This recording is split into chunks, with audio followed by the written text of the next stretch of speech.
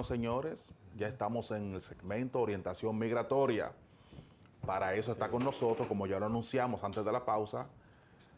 Ella es abogado, experta en migración estadounidense de Europa y de Canadá. Ella es una, una eh, especialista en la materia y sobre todo, sobre todo, ella conjuga mucho talento, la experiencia y además tiene el ticket de que es la mejor en materia de migración. Siempre es un placer tenerla por aquí con nosotros porque ella, ella es eh, parte esencial de este espacio. Ella es la mejor, Julio Ernesto, la más experta. Judith Félix. ¿Sabe la gente que conoce un avión y ha pisado gracias a esa dama? Yankee, quien usted menos se imagina. Sí mismo, sí. Miren qué mujer más hermosa, señores. señores déjeme poner el en vivo en eh. Instagram para que la gente pueda ver. Dura, dura.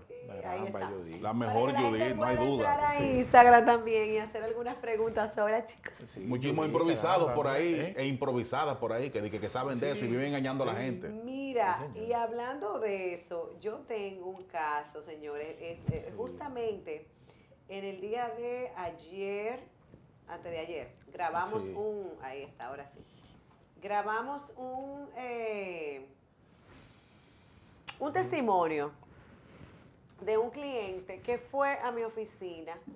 Eh, él había tratado de hacer la, cita conmigo, la cita estaba un poquito lejos y pues se desesperó y fue donde unos asesores, eh, con todo el respeto que se merecen algunos asesores que son pues muy buenos, eh, él fue donde esos asesores, a dos, porque fíjense qué está pasando ahora.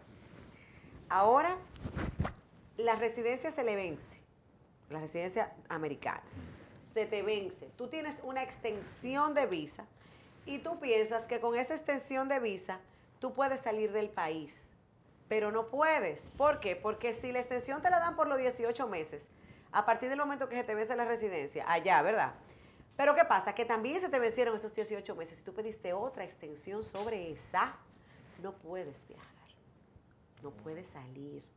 Mucha gente no lo sabe porque piensa que la extensión es a partir del momento de que te la dan, no a partir del momento que se te vence la residencia.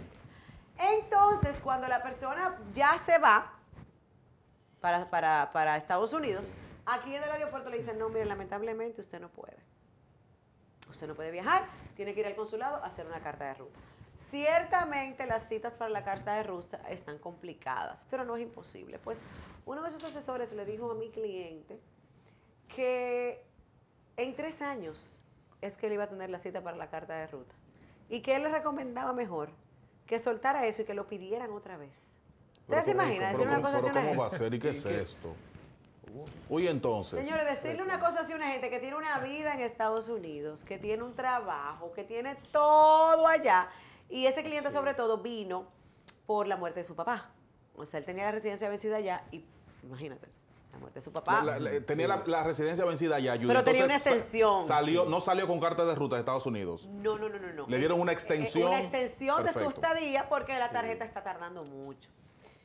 Cuando llegué a mi oficina, yo me quedé en show. Yo dije, ¿qué te dijeron qué? Entonces yo como que lo cogí personal el caso, señores, porque me dio tanto coraje.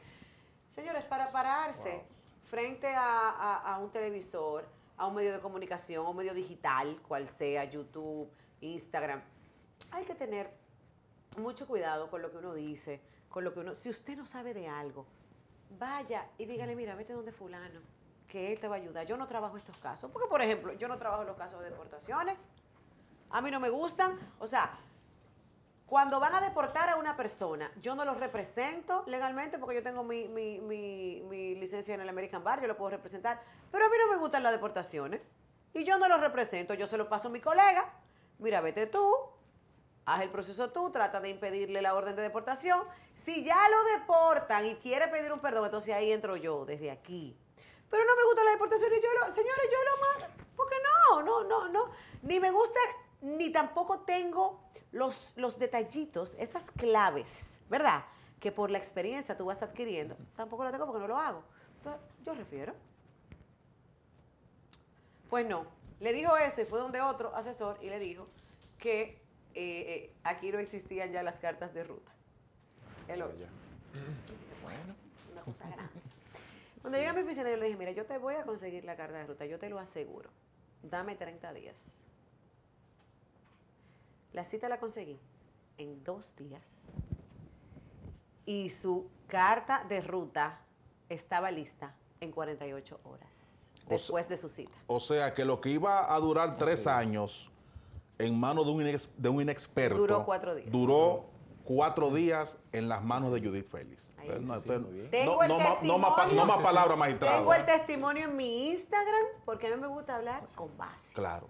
Con base. Él mismo, yo dije, mira, yo necesito, eh, de verdad, él me dijo, Judy, él fue que se ofreció. Yo quiero que tú me des la oportunidad de que como tu, tu Instagram es tan masivo, que yo doy mi, dar mi testimonio porque qué mal que a otra gente le pase esto que a mí me, que a mí me pasó. O sea, vamos a poner nuestro Instagram. Yo dije, perfecto, vamos a subir tu Sí. testimonio. Y ahí él empezó a explicar todo. Ya está en Estados Unidos, gracias a Dios, entró bien y pues va a seguir su vida normal. Entonces hay que tener muchísimo cuidado, señores, con lo que se diga aquí. Sí. Algo nuevo que salió, ¿saben qué? Ah. El etiquet. Sí. E-ticket. ¿Cómo que se llama? E- E-ticket. E- E-ticket. e- porque es en in English. Eso es, Etiquet. eso es tan nuevo que yo me di cuenta. y Mira que yo vivo chequeando los medios. Uno, uno tiene que estar be- bien edificado. Yo me di cuenta cuando se armó el lío que mucha gente perdieron sus vuelos. Pero tú sabes qué? ¿Qué fue lo que pasó? Yo ahí, no sé por qué nuestro amigo Enrique no me llamó a mí para que yo fuera imagen de esa campaña publicitaria. Enrique García. Se quemó ahí, caramba, ¿eh? Enrique, mi pana. En- sí, sí, sí. Amigo Pero no me llamó a mí. Amigo hermano. Amigo de nosotros. No tú- me llamó sí. porque él me llama. Me dice, Judy, yo me encargo de que se entere el pueblo. Tú no lo has visto, Enrique. Claro. Nacional e Sí, sí, sí, internacionalmente. tú casi tú todo- cada momento lo veo. Quizás dos y tres veces a la semana coincidimos. Dile que yo lo quiero ver. ¿Cómo? Sí, dile que yo lo Pero es un hombre asequible, Vianney. Sí, súper, súper asequible. Yo no le caigo atrás, yo no le caigo Vamos a atrás a conocerlo nadie. Dile que yo lo quiero Ay, ver. por favor. Yo me encuentro con él en diferentes lugares. Pues Dile que yo lo quiero ver. Diferentes lugares. Bueno, No, sobre todo ahí en. Clunaco y en otros espacios. sí, Judith, recreación. entonces, El e-ticket. tengo Ajá. entendido que en el día de Sí. ayer, 15 mil personas pudieron abordar sus vuelos. Pero que que cerca de 100 perdieron el vuelo porque no supieron llenar el, formu- el formulario. Explica esto. Mira, yo entiendo que tenemos que saber en el país que vivimos y tenemos que saber nuestras limitaciones. Yo felicito a Enrique por la iniciativa del e-ticket. Ya era hora. Ya era hora de que el formulario fuera digital, de que las personas pudieran tener acceso a llenarlo de inmediato, porque se perdía el papelito ese que te Sí. daban, se perdía muchísimo y muchas Claro. veces los mismos oficiales de migración tenías mil y pico, dos mil y pico de tickets y se le perdían. Y a veces cuando tú ibas a buscar una certificación no aparecía ahí nada de ti, porque se perdían los, los papelitos. Entonces esto es una manera de digitalizar todo. Sin embargo, tenemos que tomar en cuenta que, señores, ¿cuántas personas de 70 años, 70 y pico de años, que, que a mi papá no le pongo un celular inteligente? Ahí voy. Judith. No se lo ponga, porque no sabe ni, ni, ni, ni, darle el touch. Entonces, yo entiendo que como en todos los países, porque tampoco, yo no, yo no es en defensa de la Dirección General de Migración, ni tampoco en defensa de la población. O sea, yo estoy en un punto medio. Todas las veces que se ha implementado por primera vez un sistema como este, hay fallo. En todos los países, en Europa, en Estados Unidos, en Canadá. Y no lo va a ver aquí, por supuesto que lo va a ver, porque esos son gajes del oficio. Cada vez que se implementa algo, que si falló el internet, que si no se imprimió el código, que si no salió el código QR, que si no lo lee la máquina, que si hubo un inconveniente, todo puede pasar, todo puede suceder. Pero ¿qué cosas yo diría que tenemos que mejorar? Que ese formulario pueda imprimirse y que la gente lo pueda llevar impreso. Porque dentro de los escáneres del código QR, tú puedes escanear el código QR perfectamente, impreso, en un papel ahí. Como cuando tú vas a entrar a los conciertos ahora, la- la- la- las entradas, sí, que son así mismo. Entonces, para esas personas precisamente, eh, que son, que, que- que- o que simplemente no son tecnológicas, porque hasta a los jóvenes le pasa. Entonces, Sí. yo entiendo que pudo haberse evitado esto. Eh, quizás no todo está en manos de Enrique, señor, porque es verdad que Enrique es el director de migración, pero ahí hay muchos departamentos y cada departamento tiene un responsable, ¿verdad? Eh, entiendo que se puede mejorar y se va a mejorar porque esto fue un piloto. Esto fue un piloto, mucha gente lamentablemente perdieron su vuelo. Pero ahí voy. Vamos a ver qué va a pasar con esa persona y con esos vuelos, qué van a hacer las aerolíneas con este tipo de cosas, porque por lo general cuando tú compras un vuelo tienes un seguro. Siempre. Cuando tú compras un vuelo, tú tienes un seguro por ese vuelo, Claro. aunque tú pagues adicional otro, pero tienes un seguro básico. Entonces, Y en tiempo de pandemia te permiten ya los por cambios. supuesto, te permiten todo eso. Entonces, eh, yo entiendo que es algo normal que pase esto, como en otros países. Es algo normal que se retrase, es algo normal que, se, que gente se quede. Pero que se pudo prever. Sí, se pudo prever. Claro que se pudo prever. ¿Por qué? Porque debieron de haber mejores opciones con el impreso, por ejemplo. O con la persona, para que también las agencias de viaje, mira, se publicó, salió en medios de comunicación, es verdad, pero debió ser más masivo Yo no lo vi. debió ser masivo. Sí, salió, salió. Salió en el periódico, el mismo Enrique habló en algunos programas de televisión. Vamos a invitar a Enrique aquí, Sí, señores. sí, sí. Vamos a, Vamos a invitar a Enrique, vamos a invitarlo, porque yo sé que él tiene la mejor intención del mundo, eh, porque ha dado un cambio la Dirección General de Migración con Enrique y que ustedes no se lo imaginan. ¿Qué falta hacía un abogado ahí? Hay una ventanilla única para abogados para facilitarle todas las cosas a los abogados. ¿Pero por qué? Porque Enrique fue usuario. Enrique fue abogado que presentaba casos allá también y sabe todo lo que pasamos los abogados. Entonces realizó una ventanilla única para los abogados. Eh, eh, los, los, eh, los casos están súper rápidos. Ahora con lo de los venezolanos también. O sea que no lo crucifiquemos por algo que pasó, que pasa en todos los países, que se pudieron prever algunas cosas. Eso sí es verdad. Yo, enti- Estamos de acuerdo. yo entiendo, Judith, que independientemente de que hay un nuevo sistema, ¿verdad? Eh, para... eh, Ahora, si me hubiese contratado a mí como, como talento, lo supieran aquí y allá, en todos lados. ¿O no? Entonces, Vianey? sí, claro que sí. No Claro, claro, que, claro que sí, Bueno, claro. Enrique, Pero yo digo una, yo digo algo que este nuevo sistema que apenas tiene dos o tres días que comenzó a implementarse en el país, yo lo que digo es que aquella persona que no supo llenar el formulario, no supo, ¿verdad? No debió de perder su vuelo. Había que buscarle la vuelta. la- No, la había que tener un personal ahí, Claro. como hace Estados Porque, Unidos. porque nadie puede perder el vuelo que porque, tiene porque un algo no funcione. Tiene un personal ahí que, que, que ayude, de soporte. No, mire, vamos a ayudarlo a llenar el formulario, vamos a ayudarle a hacer esto, vamos a ayudarlo a hacer lo otro. ¿Ok? En Canadá te dejan. Sí, que, Ok. En Estados Unidos no, en Estados Unidos hay una gente que te está ayudando. En Canadá te dejan. que- que hiciste referencia Tú tienes que. Sí. preguntar, mire, por favor, búsqueme a alguien para que me ayude. Entonces ellos te lo buscan. Pero no es que ellos tienen un sistema ahí, pero nosotros que sabemos que somos un país que apenas estamos empezando tecnológicamente, que hay mucha gente que no tiene el conocimiento, pues sí, yo creo que sí. Yo creo que también él va a hacer, él va a tomar cartas en el asunto. Ya están más flexibles los canadienses para... Canadá abre el 7 de septiembre. Vaya, eso es, bueno, ya eso es aquí. ¡Viva Estamos Canadá! recientes ya ahí.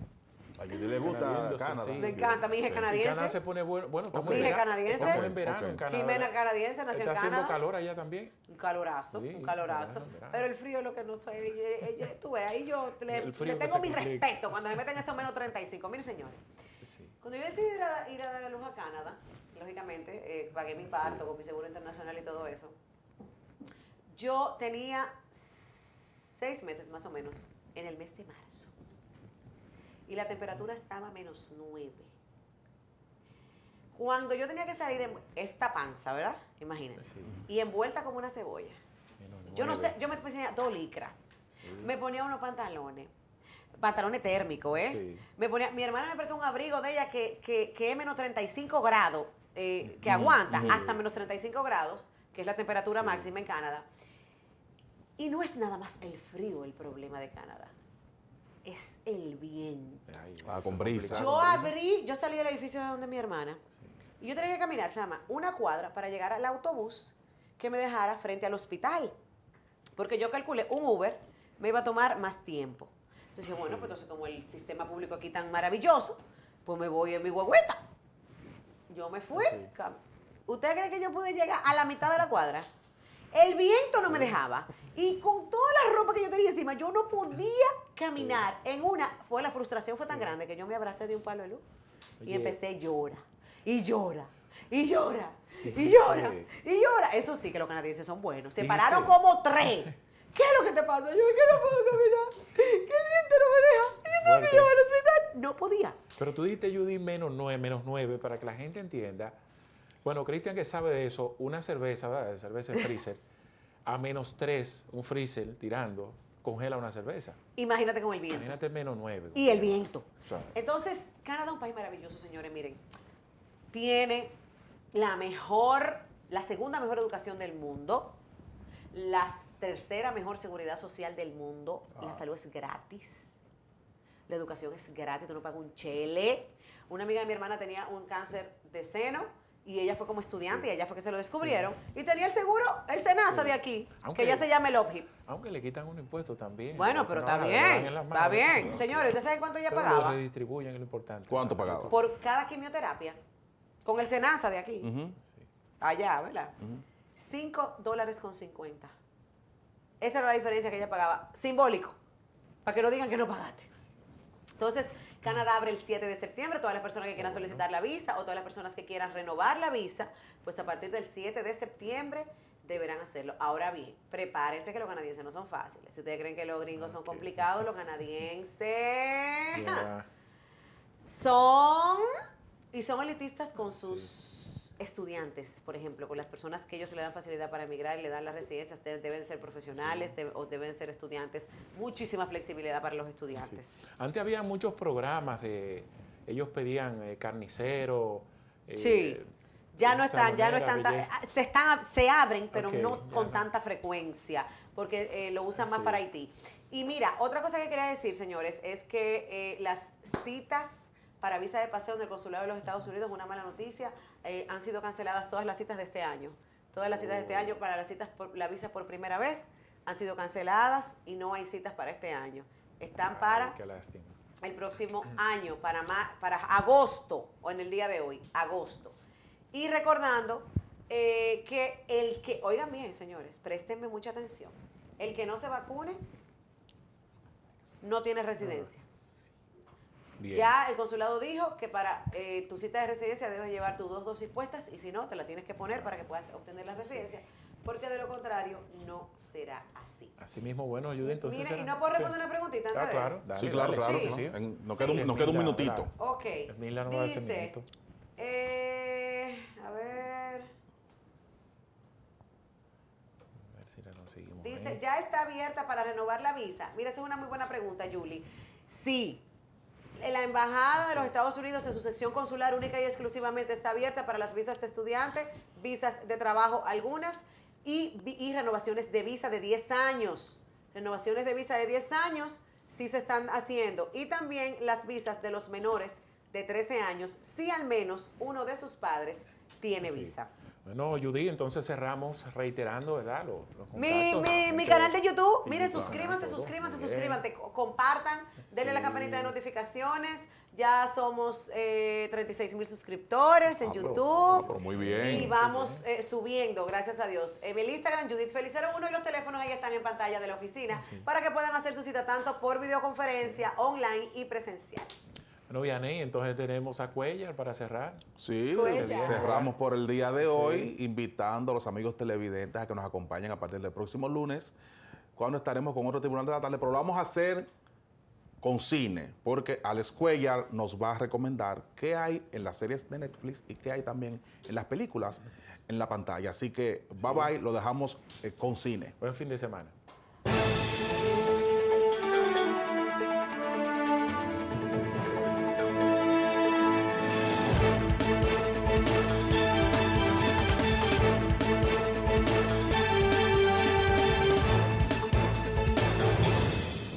Hoy es el día que muchos estaban esperando. Hay una película de estreno, la más esperada durante la pandemia. Eso, otro filme en el cine y una buena película en Netflix. Es lo que nos espera aquí esta vez. Bienvenido en cine, gracias por acompañarme y vamos a arrancar, sí, con esta película de Marvel. Está en boca de todos y todos ansiosos. El estreno está hecho, recién salida del horno y aquí estoy para recomendártela. Después de Avengers Endgame. Llega a la pantalla gigante Shang-Chi y la leyenda de los 10 anillos. A lo largo de mi vida, los diez anillos le dieron poder a nuestra familia. Y si quieres que te pertenezcan un día, debes mostrarme que tienes la fuerza para portarlos. Marvel siempre está dispuesto a sorprender y tras Vengadores Endgame, la franquicia tenía un reto importante, anunciar algo que prometiera futuro e hiciera olvidar lo que habíamos vivido hasta ahora. Esta historia de orígenes gira en torno al experto en artes marciales y maestro del kung fu, nacido en los cómics de Marvel durante los años 70. Hijo de un poderoso criminal de China, educado en un complejo aislado del resto del mundo. Él fue entrenado en las artes marciales y ha desarrollado habilidades sin igual. En esta primera aventura se enfrentará a un poderoso enemigo, el mandarín. Dirigida por Destin Daniel Cretton, Marvel presenta Shang-Chi y la leyenda de los 10 anillos. Creí que podía cambiar mi nombre. Empezar otra vida. Pero nunca puedo escapar de su sombra.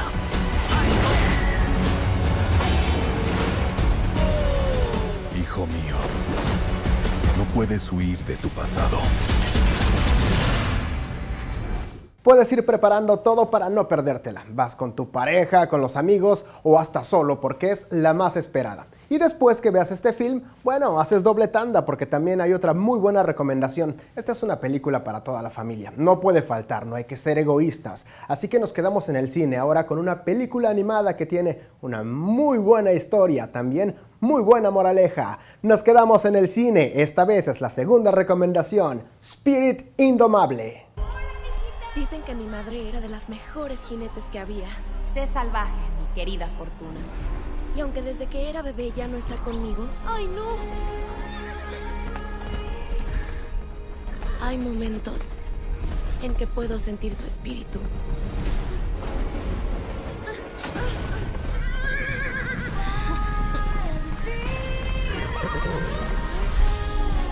Cuando la obstinada Lucky Prescott se ve obligada a mudarse de su casa de la gran ciudad a una pequeña localidad fronteriza, se convierte en un pez fuera del agua.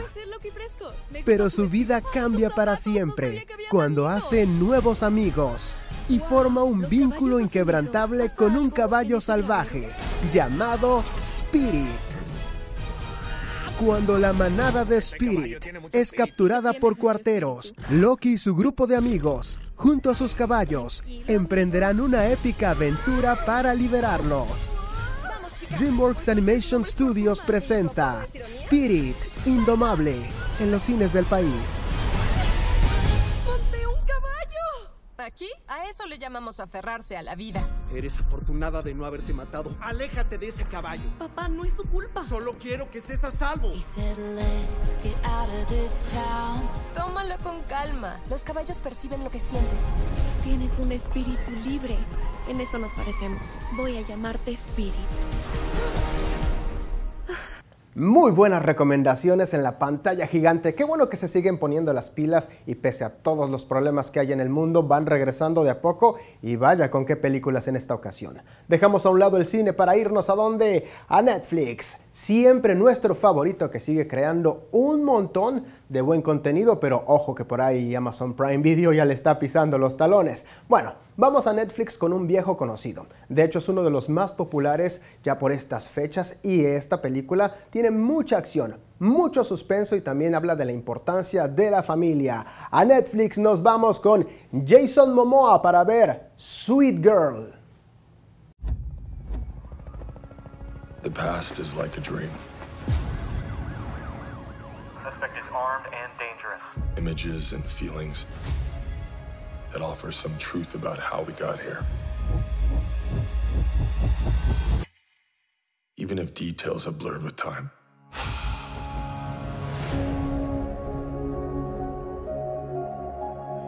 I had a dream last night about that trip we took with mom in the woods.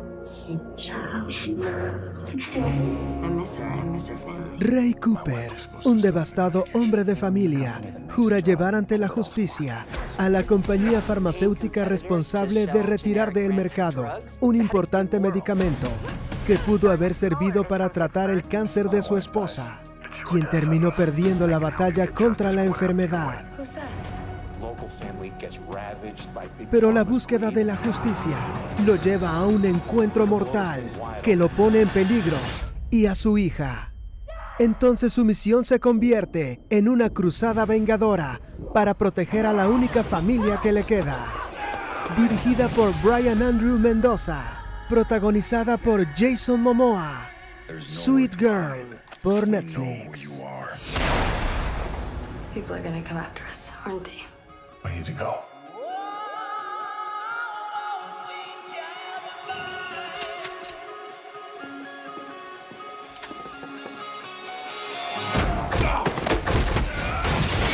¿Qué tal esa tercera recomendación? Bueno, cuando tengas un chance, no te la pierdas porque aparte de Jason tiene muy buen elenco. Ya fue todo por esta semana. Gracias por acompañarme. Cada una de las películas que vine a recomendarte hoy no te las puedes perder. Yo me preparo como siempre. Simplemente veo todo lo que hay en el mundo del entretenimiento. Vengo a recomendarte lo mejor, pero será hasta la próxima. Gracias por acompañarme. Abrazos fuertes también para toda la gente de las redes sociales. Yo me voy. Nos vemos en la próxima.